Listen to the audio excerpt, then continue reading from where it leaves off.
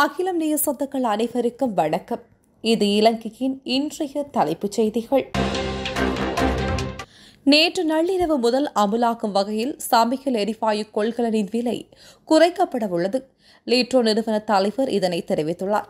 இதன்படி பன்னிரண்டு தசம் ஐந்து கிலோ எடை கொண்ட சமையல் எரிவாயுவின் விலை இருநூற்றி நாற்பத்தி ஆறு ரூபாவினால் குறைக்கப்பட உள்ளது. அத்துடன் ஐந்து கிலோகிராம் எடை கொண்ட சமையல் எரிவாயுவின் விலை தொன்னூற்றி ஒன்பது ரூபாவினால் குறைக்கப்பட உள்ளது. அதேபோல் இரண்டு தசம் மூன்று கிலோகிராம் எடை கொண்ட சமையல் எரிவாயுவின் விலை நாற்பத்தி ஐந்து ரூபாவினால் குறைக்கப்பட உள்ளது. நாட்டில் தற்போது நிலவும் பொருளாதார நெருக்கடிக்கு தீர்வாக சர்வதேச நாணய நிதியத்தின் கடன் பெற வேண்டும் என எவரேனும் கூறினால் அவர்கள் முட்டாள்கள் என ஜனநாயக இடதுசாரி முன்னணியின் பொதுச் செயலாளர் பாராளுமன்ற உறுப்பினர் வாசுதேவ நாணயக்காரர் தெரிவித்துள்ளார். ஆயிரத்தி தொள்ளாயிரத்தி எழுபத்தி எட்டாம் ஆண்டு முதல் தற்போது வரை நாட்டின் பொருளாதாரத்தை திரும்பி பார்க்கும்போது சர்வதேச நாணய நிதியத்தினால் நாட்டுக்கு ஏற்பட்டுள்ள சேதம் தெளிவாக தெரிகிறது.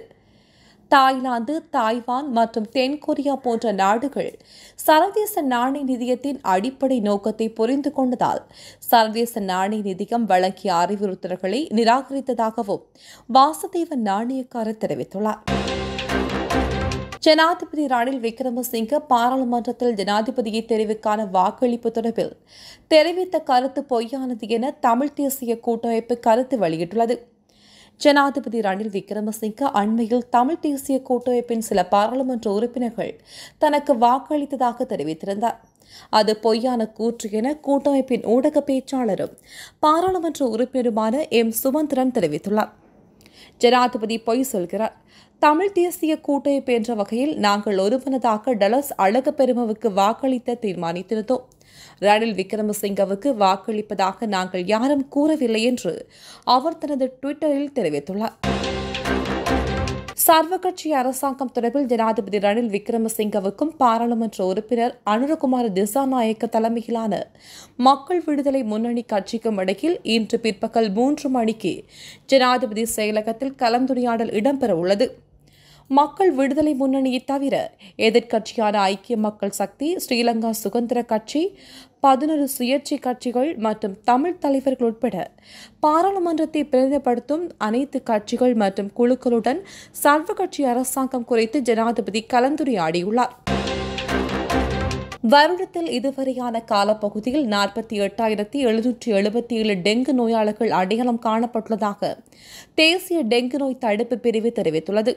மேல் மாகாணத்திலேயே அதிகளவான டெங்கு நோயாளர்கள் இனங்காணப்பட்டுள்ளதாக அதன் பணிப்பாளர் விசேட வைத்தியர் சுதன் சமரவீர தெரிவித்துள்ளார். இது தவிர கண்டி கேகாலை ரத்தினபுரி காலி ஆகிய மாவட்டங்களிலும் அதிகளவான நோயாளர்கள் கண்டறியப்பட்டுள்ளார்கள். ஒழுக்கத்தையும் ஜனநாயகத்தையும் மறந்து முரட்டுத்தனமான தீர்மானங்களை எடுத்திருந்தால் இன்று இந்த நாட்டின் ஜனாதிபதியாக இருக்க முடியும் என எதிர்க்கட்சித் தலைவர் சஜித் பிரேமதாஸ் தெரிவித்துள்ளார். அரநாயக்கவில் நடைபெற்ற ஐக்கிய மக்கள் சக்தி கூட்டத்தில் கலந்து கொண்டு உரையாற்றும் போதே அவர் மேற்கண்டவாறு தெரிவித்துள்ளார். மேலும் நான் ஒருபோதும் நெறிமுறையற்ற ஜனாதிபதியாக இருக்க மாட்டேன். மக்களின் விருப்பமின்றி எந்த பதவியையும் ஏற்றுக்கொள்ள மாட்டேன். சந்தையில் கடந்த காலங்களில் அதிகரித்திருந்த அரிசி விலை எதிர்வரும் சில நாட்களில் வீழ்ச்சியடையும் என அகில இலங்கை சிறிய மற்றும் நடுத்தர அரிசி உற்பத்தியாளர் சங்கம் தெரிவித்துள்ளது. தற்போது உள்நாட்டு அரிசியின் விற்பனை குறைவடைந்துள்ளதாக அந்த சங்கத்தின் தலைவர் டி கே ரஞ்சித் குறிப்பிட்டார். இந்தியா மற்றும் சீனா ஆகிய நாடுகளிடமிருந்து உதவியாக நாட்டுக்கு அரிசி கிடைக்கப்பெற்றதோடு சந்தையில் அரிசி விற்பனை வீழ்ச்சியை அடைந்துள்ளது. எதிர்வரும் நாட்களில் அரிசியின் விலை வீழ்ச்சியடையும் என அவர் தெரிவித்தார். இதேவேளை பிஸ்கட் சவர்க்காரம் உள்ளிட்ட மேலும் சில பொருட்களின் விலை வெகுவாக அதிகரித்துள்ளதாக சந்தை தகவல் தெரிவிக்கின்றன. மலையகத்தில் தொடர்ச்சியாக பெய்து வரும் கடும் மழையால் பல பகுதிகள் பாரிய சேதங்களை எதிர்கொண்டுள்ளது. அத்தோடு தோட்டங்களில் நிர்மாணிக்கப்பட்டிருந்த பாலங்கள் வெள்ளத்தில் அள்ளுண்டு செல்லப்பட்டதால் மக்கள் பல்வேறு இன்னல்களுக்கு முகம் கொடுத்துள்ளார்கள். இவ்வாறு வெள்ளத்தினால் பாதிக்கப்பட்ட மக்களின் பிரச்சினைகளை ஆராய்வதற்காக பெருந்தெருக்கள் போக்குவரத்து மற்றும் வெகுஜன ஊடகத்துறை அமைச்சர் பந்துல குணவர்த்தன வெள்ளத்தினால் அதிகம் பாதிக்கப்பட்ட நாவலப்பட்டிய பகுதிக்கு விஜயம் மேற்கொண்டிருந்தார். மேலும் ஐம்பது புதிய எரிபொருள் நிரப்பு நிலையங்களை ஆரம்பிப்பதற்கு அனுமதி கிடைத்துள்ளதாக லங்கா ஐஓசி நிறுவனம் கொழும்பு பங்குச் சந்தைக்கு அறிவித்துள்ளது. நாடளாவிய ரீதியில் ஐம்பது எரிபொருள் நிரப்பு நிலையங்களை ஆரம்பிப்பதற்கு எரிசக்தி அமைச்சர் ஒப்புதல் அளித்துள்ளதாக நிறுவனத்தின் நிர்வாக பணிப்பாளர் மனோஜ் குப்தா தெரிவித்துள்ளார். ஜனாதிபதி ரணில் விக்ரமசிங்கவுக்கு எகிப்து அரபு குடியரசின் ஜனாதிபதி வாழ்த்து தெரிவித்துள்ளார். விக்ரமசிங்கவின் தெரிவானது நாட்டின் முன்னேற்றம் மற்றும் செழுமை நோக்கி முன்னோக்கி இட்டுச் செல்லும் திறன் மீதான நம்பிக்கையை பிரதிபலிக்கிறது என்று எகிப்திய ஜனாதிபதி தெரிவித்துள்ளார். அரசாங்கம் அவசரகால சட்டத்தை விதித்துள்ள போதிலும் நாட்டில் கொலைகள் மற்றும் குற்றச்செயல்கள் அதிகரித்து வருவதாக எதிர்க்கட்சி தெரிவித்துள்ளது. போலீசாரின் கூற்றுப்படி கடந்த மே மாதம் முதல் இதுவரை இருபத்தி மூன்று கொலைகள் பதிவாகியுள்ளதாக பாராளுமன்ற உறுப்பினர் திஸ்ஸ அத்தநாயக்கு தெரிவித்துள்ளார். இன்று இடம்பெற்ற ஊடகங்களாளர் சந்திப்பின் போதே அவர் இதனை தெரிவித்துள்ளார். போலீஸ் நிலையத்தில் கொலைகள் பதிவாகியுள்ளதாகவும் நீதிமன்ற வளாகத்திற்குள் துப்பாக்கிச் சூட்டு சம்பவங்கள் இடம்பெற்றுள்ளதாகவும் ஏனைய குற்றச் செயல்களும் அதிகரித்துள்ளதாகவும் அவர் குறிப்பிட்டுள்ளார். தமிழக அரசாங்கத்தினால் இலங்கைக்கு வழங்கப்பட்ட வாழ்வாதார உணவுப் பொருட்களில் பால்மா பொதிகள் காலாவதியாகியுள்ளதாக முறைப்பாடுகள் கிடைக்கப்பெற்றுள்ளன. பதுளை உள்ளிட்ட சில பகுதிகளில் விநியோகிக்கப்பட்டுள்ள பால்மா பொதிகளின் உற்பத்தி திகதி மற்றும் காலாவதி திகதி என்பன அளிக்கப்பட்டு விநியோகிக்கப்பட்டுள்ளது. மேலும் கடந்த ஆறாம் திகதியுடன் சில பால்மா பொதிகள் காலாவதியாகியுள்ளதாக தெரிய வந்துள்ளது. அத்துடன் காலாவதி திகதி அண்மித்துள்ள பொதிகள் இன்னும் சில பகுதிகளில் மக்களுக்கு உரிய காலத்தில் விநியோகிக்காது. களஞ்சியப்படுத்தப்பட்டுள்ளன. தமிழீழ விடுதலை போராட்டத்தில் பங்கேற்ற அனைவரையும் புனர்வாழ்வு அல்லது சமூகமயப்படுத்தும் நடவடிக்கைகளின் பின்னர் ஜனாதிபதி பொது மன்னிப்பின் கீழ் விடுதலை செய்ய வேண்டும் என பொதுபல சேனாவின் தலைவர் கலக்கோட அத்தே ஞானசார தேரர் தலைமையிலான ஒரே நாடு ஒரே சட்டம் ஜனாதிபதி செயலணி பரிந்துரைத்துள்ளது. இந்த செயலணியின் அறிக்கை முன்னாள் ஜனாதிபதி கோட்டபாய ராஜபக்சவிடம் ஏலவே கையளிக்கப்பட்டது. இதில் நாற்பத்தி மூன்று பரிந்துரைகள் உள்ளடங்குகின்றன. அவற்றில் தற்போது அரசியல் கைதிகளாக தடுத்து வைக்கப்பட்டுள்ளவர்களின் விடுதலை குறித்தும் பரிந்துரைக்கப்பட்டுள்ளன. சாரதியின் கவனக்குறைவால் பாடசாலை மாணவியை விபத்துக்குள்ளாக்கிய இலங்கை போக்குவரத்து சபை பேருந்தையும் அதன் சாரதியையும் விடுவித்த போலீசார் விபத்தில் காயமடைந்த சிறுமியின் சகோதரர் உட்பட இருவரை பேருந்து மீது தாக்குதல் நடத்தியதாக கூறி கைது செய்துள்ளார்கள். தனியார் வகுப்புக்கு சென்ற மாணவி இலங்கை போக்குவரத்து சபை கிளிநொச்சி சாலைக்கு சொந்தமான பேருந்தில் ஏறுவதற்கு சென்றுள்ளார். எனினும் மாணவி ஏறுவதற்கு முன்னர் பேருந்தை வேகமாக எடுத்ததால் மாணவி கீழே விழுந்து விபத்துக்குள்ளாகியுள்ளார். சம்பவத்தில் காயமடைந்த மாணவி கிளிநொச்சி மாவட்ட பொது வைத்தியசாலையில் அனுமதிக்கப்பட்டுள்ளார்.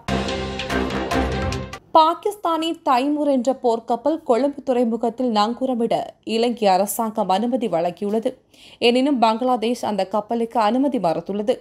சீனாவின் கட்டமைக்கப்பட்ட பிஎன்எஸ் தைமூர் என்ற இந்த கப்பல் ஷாங்காய் நகரிலிருந்து கராச்சிக்கு செல்லும் வழியில் கொழும்புக்கு நல்லெண்ண நோக்கில் பயணிப்பதாக அறிவிக்கப்பட்டுள்ளது. இந்த போர்க்கப்பல் கம்போடியா மற்றும் மலேசிய கடற்படைகளுடன் பயிற்சிகளை நடத்திய நிலையிலேயே கராச்சி திரும்புகிறது.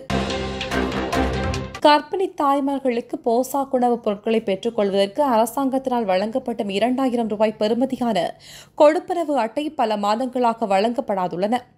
பன்னிரண்டு வாரங்கள் பூர்த்தியான கர்ப்பிணி தாய்மார்களுக்காக மாதாந்தம் இரண்டாயிரம் ரூபாய் பெறுமதியான கொடுப்பனவு அட்டை பத்து மாதங்களுக்கு வழங்கப்பட்டிருந்தது. இந்த நடைமுறை கடந்த பல வருடங்களாக காணப்பட்ட போதிலும் அந்த செயற்பாடு தற்போது பாதிக்கப்பட்டுள்ளதாக தெரிவிக்கப்படுகிறது. பொது போக்குவரத்தில் ஈடுபட்ட விலங்கி போக்குவரத்து சபையின் பேருந்துகள் மற்றும் தனியார் பேருந்துகளுக்கு எரிபொருள் வழங்குவதற்கு பிரத்யேகமாக குறியீட்டை அறிமுகப்படுத்துவது தொடர்பில் அரசாங்கம் அவதானம் செலுத்தியுள்ளது. போக்குவரத்து அமைச்சர் பந்துல குணவர்த்தன மற்றும் பலசக்தி அமைச்சர் காஞ்சன விஜயசேகர ஆகியோரது தலைமையில் இது தொடர்பில் நேற்று கலந்துரையாடல் ஒன்று இடம்பெற்றது. இதற்கமைய இலங்கை போக்குவரத்து சபையின் பேருந்து சாலைகளிலும் ஏனைய எரிபொருள் நிரப்பு நிலையங்களிலும் அடுத்த வாரம் முதல் இந்த முறையை செயற்படுத்துவதற்கு எதிர்பார்க்கப்படுகிறது.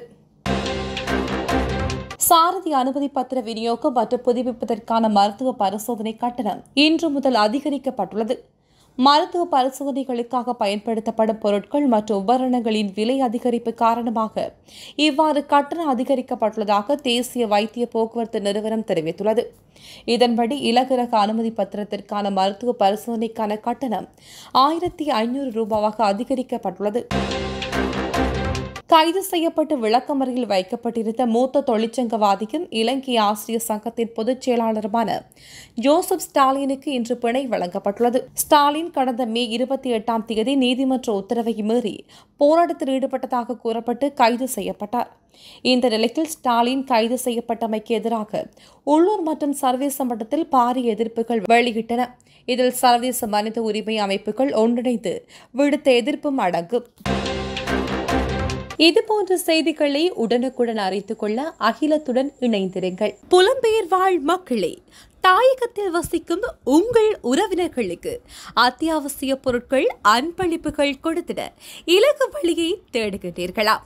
இதோ உங்களுக்காகவே புலத்தையும் நிலத்தையும் இணைக்கும் மாபெரும் ஆன்லைன் ஷாப்பிங் சேவை ஹைடோ வேர்ல்ட் டாட் காம் தாயக உறவுகளின் தேவைகளை நனவாக்கிட உங்கள் தேசத்தை பலப்படுத்திட இன்றைய நாடுகள் வேர்ல்ட் டாட் காம் அகிலம் மாற்றத்திற்கான மக்கள் குரல்.